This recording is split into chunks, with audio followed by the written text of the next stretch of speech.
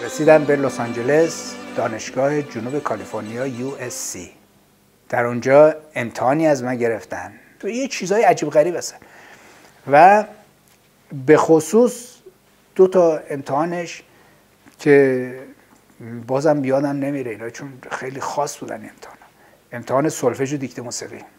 دیکته موسیقیش این بود که استاد میبینشست اونجا و ما ورقه جلومون کازنوت جلومون.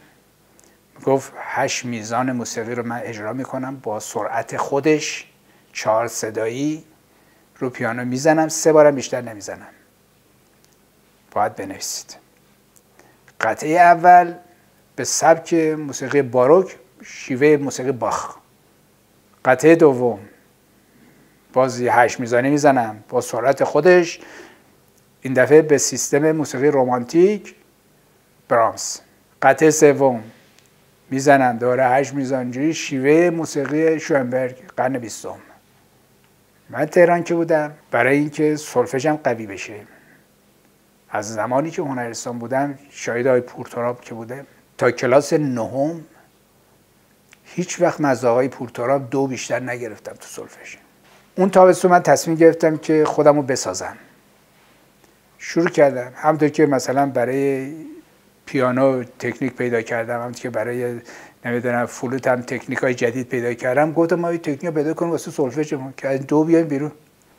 نتیجه این شد که وقتی رفتیم سال بعد سر کلاس های پورتوراب همون جلسه اول آقای پورتوراب یه چی پای تخته نوشت گفت بخون بخون. کی می‌خونه اینو؟ گفتم من. خوندم درست خوندم. دیگه از اون موقع به بعد من از آقای پورتوراب 20 کمتر نگرفتم. فقط 20 همین تکنیک باعث شد که اونجا تو اون جلسه امتحان تنها کسی که تونست اینا رو بنویسه من بودم. که بعد ورقه رو که دادیم خب همه سفید دادن دیگه. مال منو که دیدن شک کردن.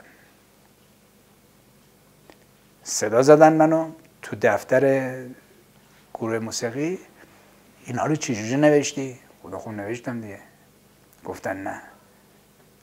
در تاریخ این دانشکده سابقه نداره. کسی بتونه دیکته موسیقی ما رو بنویسه. یا شما این قطعات از قبل میشناختی؟ نوشتی. یا پیانو رو دیدی؟ نوشتی. که من با دیدن پیانو هم نمی‌تونستی بنویسی. یا اینکه استاده بهت گفته بوده قبلا چیه؟ غیر از این نمی‌تونست باشه. گفتم خاله یه بار در امتحان میدن هر چی خواستیم بزنه هر چی که تونستن زدن نوشتن. بعد که تمام شد گفتن آقا شما معلمت کی بوده؟ گفتم خودم. خودم. یه تکنیکی درست کردم که هرچی بزنی می‌تونم بنویسم. اونجا وضع من طور شد که در همون اولین جلسه کلاس رهبری کور و ارکستری که ما داشتیم خب همه بچه ها هیچ اصلا دستاشون تکونن نمی‌تونن دست نمی‌تونن مثلا سه ضربی رو چجوری باید نشون بدن. من واسه این کار که مثلا سالهاست این کارو کردم خیلی راحت. چون کلی موسیقی ضبط کرده بودم در ایران تا قبل از رفتنم. که اینجا وقت دعوا شد بین یعنی در واقع مسئله پیش اومد بین دپارتمان رهبری ارکستر و آهنگسازی که اون مدیر بخش آهنگسازی میگه ایشون دانشجوی ما تو رشته ماست باید با ما کار کنه چون دیده بودن دیگه چی کار می‌کنن. رهبری ارکستر میگه نه ایشون باید بیاد تو رشته اصلیش باید بشه رهبری ارکستر. این اصلا این کار از این خودش همه چی داره. باید بیاد پلوما که بالاخره ما گفتیم چیکار کنیم چیکار نکنیم؟ گفتیم که خب پس من خودم باید انتخاب کنم. من آهنگسازی انتخاب می‌کنم منتها رشته دومم می‌گیرم رهبری ارکستر. که این کارو بکنم. واسه همینم از اون به بعد تمام بچههایی که فارغ التحصیل می‌شدن در رشته آهنگسازی تو دانشگاه رسیتال پایانی برنامه‌شون رو اجراشون رو من رهبری می‌کردم. خب اونجا پیانو رو هم به شکل خیلی تخصصی و اساسی کار می‌کردم.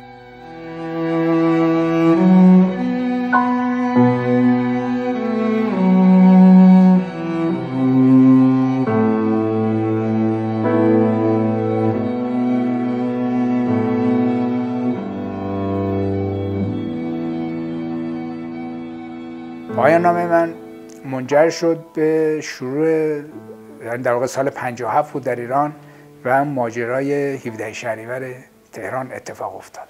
که من تصمیم گرفتم پایان رو روی این ماجرا بنویسم. و طراحی یک کار عظیم رو انجام دادم که این فضای که تو ایران بوده که من خودم ندیدمش بتونم به وجود بیارم. طراحی که من کردم این بود که اثری باشه برای یه ارکستر بسیار بزرگ با تعداد زیادی خواننده تکخان و احیانا نوار الکترونیک صداهای اصوات الکترونیکی. برای اینکه یه همچین فضایی رو به وجود بیارم نیاز به کاغذ نوتایی داشتم من که این کاغذ نوتا باید تعداد خطاشون خیلی زیاد باشه. پنج خطای حاملش زیاد باشه. پارتورای معمولی کاغذهای معمولی معمولا 24 خطه. 22 یا 24 خط بیشتر نیست. قدش معمولا اینقدره. اون چیزی که من می‌خواستم چی بود؟ برای حدود 160 تا نوازنده و خواننده. با 160 تا صدای مختلف. یعنی تمام هر کدوم از این نوازنده یه خط جدا برای خودشون داشته باشه. این بود که با اون جاهایی که کاغذهای نوت چاپ می‌کردن تماس گرفتم. دیدم بزرگترین سایز کاغذی که موجوده در اون زمان تو امریکا 60 تا خط توشه. خب چاره نیست اینکه سه تا از این برگه ها رو بگیرم با چسب بچسبونم به هم دیگه بشه یه صفحه من. یعنی یه صفحه من میشه برابر با انزه یه سالن. یه اتاق بزرگ یه صفحه. حالا اینو چجوری باید بنویسین از اون بالا تو باش. چجوری پر بکنی اون طرحی که من باید بکنم که چه باید بکنم. مقدار زیادی از این کاغذ گرفتیم. اون کاغذ مورد نظر 180 تا خط پیدا شد و شروع کردم بنوشتن موسیقی جنسش چجوریه؟ جنس موسیقی هم در واقع ترین نوع موسیقی زمان خودش. روزی شاید مثلا 15 ساعت 16 ساعت. من فقط می نوشتم وقتی که می‌خواستم ببرم سر کلاب به استادم نشون بدم. هرچی میز و صندلی و اینا بود تو اتاق می آوردن بیرون. اتاق رو کاملا خالی می‌کردن. من این نوتا رو می پن می‌کردم این فرش. توی این اتاق اینا هم کفششون در می آوردن بعد می رفتم استاد دیگر رو خبر می‌کردم گفتم بیاید ببینید چی ماجرا چیه. چیز سر در میاری از کاری که این کرده. می اومدن رو این نوتا میچرخیدن راه می‌رفتن. شاید واقعا چیزی ازش نمیفهمیدن. ولی اون کاری که شده بود فهمیدن چه اتفاقات داره میفته یعنی قرار چه چیزی رو مشخص بکنه. بهشون هم گفته بودن که می‌خوام چه واقعی رو مجسم کنه به لحاظ موسیقی. حس می‌کردن که از این تو چه صدایی در باید بیاد. تا اینکه بالاخره این کار نوشته شد تمام شد. پنج نسخه از این برای من تکثیر کردن. 800 دلار پول شد سال 1979 خیلی پول بود مثلا. و هزینه حملش هم که جدا بمانه اومده و دو نسخهش اومدم دانشگاه و سه نسخهش هم با خودم آوردم ایران. این اثر چون جایزه اول آهنگسازی دانشگاه رو برد در همون سال.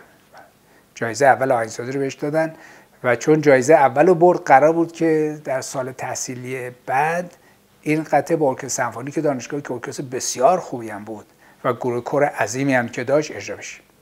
قرار بر این بود. مونتا من همین که پارتور رو دو تا نسخه به دانشگاه دادم تصویه حساب کردم با دانشگاه. دیدم دیگه کاری ندارم. گفتم که دیگه موندن من در اینجا جایز نیست. من باید برگردم به ایران. سال آره هشت آذر ماه فکر کنم اواخر آذر ماه اومدم که این اثر رو در بهمن ماه همون سال در تالار وحدت فعلی ما بردیم رو صحنه. هرچی نوازنده تو تهران ما داشتیم. چون اون موقع تعداد زیادی از نوازنده که سمفونیک از کشور رفته بودن بیرون. خواننده ها رفته بودن. گروه کور مسجع ما نشیم هیچی نداشتیم. یعنی همه پاچیده شده دست هم دیگه. ما اینو در بهمن سال 58 در تاردکی با زحمت بسیار اجرا کردیم. که برای اینکه اجرا بکنیم دیده باشید رهبر ارکستر یه میز جلوش هست یه پاپیتری جلوش هست که نوتش می‌ذاره اون رو. خب این حیولا رو به این سادگی نمی‌شد روی اینا بذاری. افتادیم یه میز درست کردن که بشه اصلا اینو گذاشت روش. به این پهنا و قد مثلا یه متر خورده ای. که خب موسیقی موسیقی آوانگارد. که من خودم فکر نمی کردم که بتونه مورد توجه مردم قرار بگیره. منتها موسیقی چون موسیقی بود که فضای خیلی درستی داشت. چون اصلا هدف همین بودی که اون فضا رو مجسم بکنه برای مردم.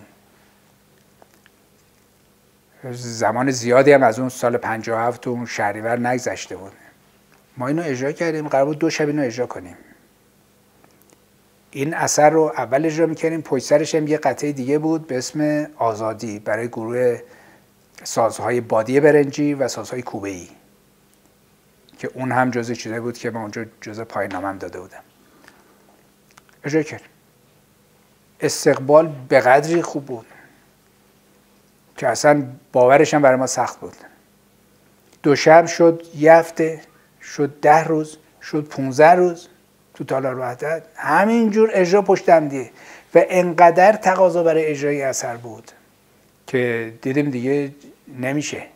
و همه چی تالار باعث فقط بشه این. که تصمیم گرفتیم در سال بعد این رو تو زمین چمن دانشگاه تهران اجرا کنیم. به توافق رسیدیم که این کار بکنیم که تعداد زیادی جمعیت بیان ببینند. هر تعدادی که می‌خوام بیان رو بشنون. که البته خب کار مهندسی سختی باید انجام می‌شد که صدا به طور کامل به تمام مجموعه برسه. که خب طراحیش هم داشت انجام می‌شد چند تا مهندس داشتن روی این زمینه کار می‌کرد این اثر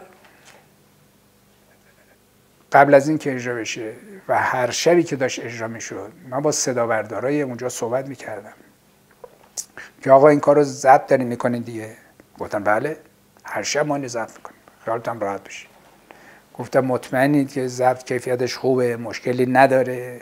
و بله ضبط داریم می‌کنیم. خوبه خوب. گفتم به من می‌تونم از بیرون صدا بردار بیارم میکروفون بذارم ضبط بکنیم. گفتم نه ما اینجا مشکل نداره و وقت یه جای خاصی از این موسیقی بود که من با دست باید اشاره می‌کردم به اون اتاق صدا که اون نوار الکترونیک رو پخش می‌کردن. که خب اونم پخش می‌شد به موقع و به موقع هم قطعش می‌کردن قطعش می‌کردن ادامه میده بعد که تمام اجراعات تموم شد بعدم گفتم که خب دوستان عزیز اینایی که ضبط کردیم بدیم من گوش بدم یه اجرای خوبش رو انتخاب کنم نگر داریم دیگه خودم بمونه. این به اون نگاه کردم به اون نگاه کرد اینا خلاصه این ورور کردن رو گفتن شرمنده ما ضبط نکردیم. یعنی چی ضبط نکردین؟ من هر شب ازتون نمیپرسیدم ضبط می‌کردیم گفتیم ضبط می‌کنیم. گفتن که بله ما روم نمی‌شد بهش بگیم که ضبط نمی‌کنیم. چون ما اصلا نمی‌تونستیم ضبط بکنیم. یعنی چی؟ شما چه بهترین سیستم ضبط رو دارید. هنوز اون موقع تالار وحدت چیزی نشد دیجیتالی مثل امروز نشد میکرو اونجا بلنگو گذارن. شما اونجا بهترین سیستم ضبط دارین چطور میگه نداری گفتن که سیستم ما اینجا یه جوریه که ما یا باید ضبط کنیم یا باید پخش کنیم. برای اون قسمت که شما اشاره می‌کنی که ما پخش بکنیم به خاطر اون ما سیستم رو باید بذاریم روی پخش موسیقی. نمی‌تونیم ضبط کنیم رو نمی‌شد به شما بگیم. بنابراین اون اثر هرگز ضبط نشد. اثری که هیچ وقت دیگه من فکر نمی کنم ما تو ایران بتونیم اجراش بکنیم.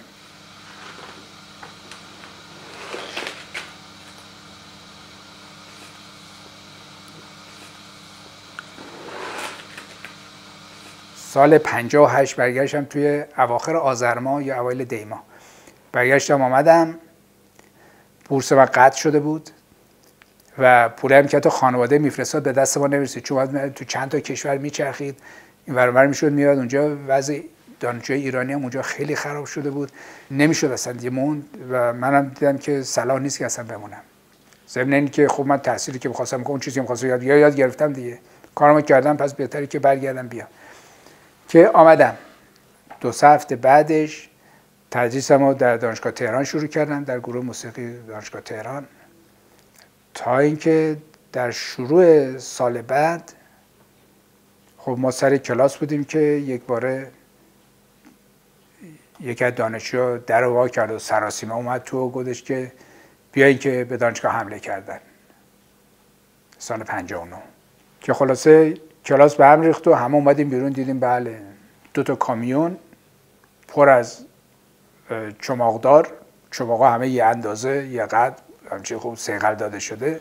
اینا از ماشینا اومدن از کامیونا اومدن پایین و با چوب اومدن به سمت دانشکده هنرهای زیبا که بزنن دیگه هر کی هست تو بزنن و شیشه ها رو بشکنن و اینا رو.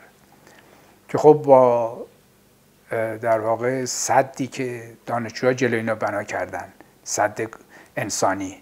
همه دستا رو دادن به هم دیگه. از دانشگاه دیگه هم فهمیدن چه خبر ریختن اومدن و مانع از این شدن که اینا وارد دانشکده بشن. در بیرون محبت موندن و بعد راه دادن که برن به سمت دانشکده ادبیات.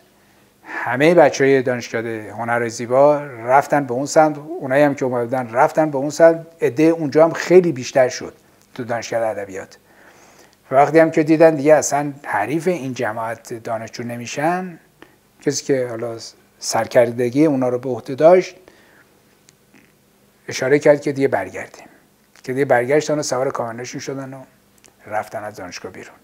این شروع انقلاب فرنگی بود دیگه در دانشگاه که دانشگاه رو چند روز بعد دیگه تعطیل کردن و با چشمان خودم دیدم جشن کتاب سوزان رو جلوی دانشگاه. ای از این عرازل و اوباش که زنجیر و قمه به دست داشتن. می آمدن می زدن شیشه مثلا یه کتاب فروشی رو میشکوندن. هرچی کتاب تو ویترین بود میریختن تو پیاده رو. یکی دو تا با زنجیر میچرخوندن که مردم مزاحم نشن. آتیش می‌زدن کتاب رو و هلهله می‌کردن. ماشین کمیته هم مسلح واسطه بود. مراقب که کسی به اینا حمله نکنه. صبح پا شدیم یا اخبار شنیدیم. گفتن که عراق حمله کرده و فرودگاه رو زده و جنگ شروع شد. این بود که دیگه موندگار شدیم. و موندن همانا و به حال دیگه فصل دوم زندگی ما شروع شدن همانا